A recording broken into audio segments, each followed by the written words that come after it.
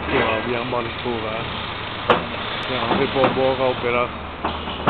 Jernbitterne er i gang med å Eller snekkerne er i gang med å legge inn jern.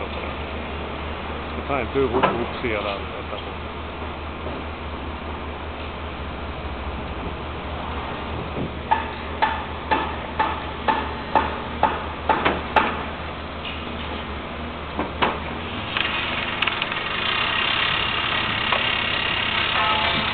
Nå skinner sola her på, på Svartenakken. Nå ble det jo riktig fint. Men det er ikke mange minutter siden det var skikkelig surt med skikkelig snø, snøbyger.